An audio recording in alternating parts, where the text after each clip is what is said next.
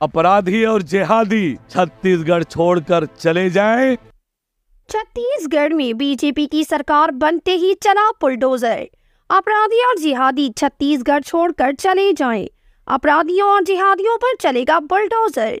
छत्तीसगढ़ के बीजेपी अध्यक्ष अरुण साहू का बयान वायरल। लोगों ने विशेष समुदाय पर टारगेट का लगाया आरोप। सुरेश चौहान के भी आया लोगों के निशाने पर।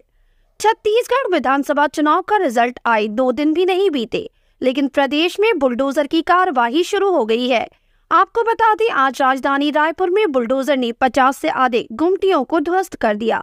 ये कार्यवाही निगम के द्वारा की गई है। बुलडोजर की कार्रवाई होने के बाद मामला गर्म हो गया है। दूसरी तरफ़ चाप पार्टी के संचालकों ने आरोप लगाया है कि ये कार्रवाई जानबूझकर की गई।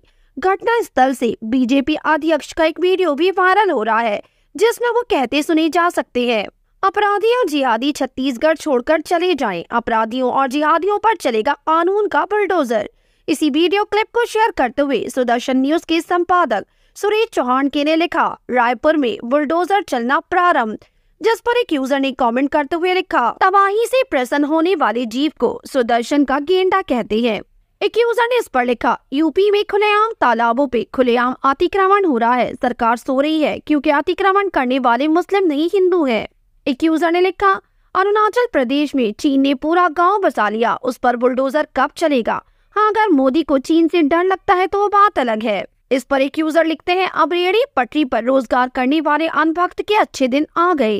एक और यूज़र लिखते हैं बीजेपी के आते ही राजस्थान में गोली भी चलनी शुरू हो गई। करनी सेना के अध्यक्ष को गोली मारी गई। एक ने लिखा, बुलडोजर से अलग कुछ और काम है या नहीं? तुम्हारे पास ये बुलडोजर चलाते हैं और तुम्हें टीपी मिल जाती है।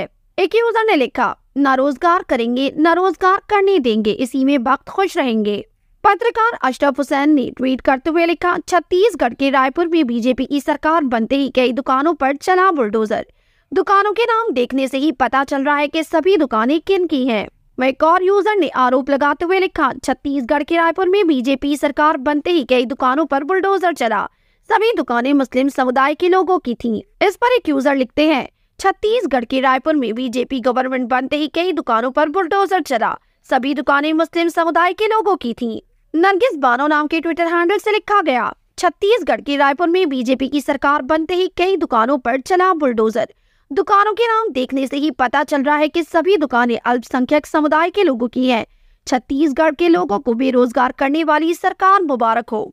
छत्तीसगढ़ में बुलडोजर की इस कार्रवाई को आप कैसे देखते हैं? अपनी राय कमेंट सेक्शन में ज़रूर दिए हमारे चैनल को सब्सक्राइब करें बेल आइकन प्रेस करें, ताकि देश दुनिया से जुड़ी तमाम वायरल खबरें हम आप तक पहुंचाते रहें।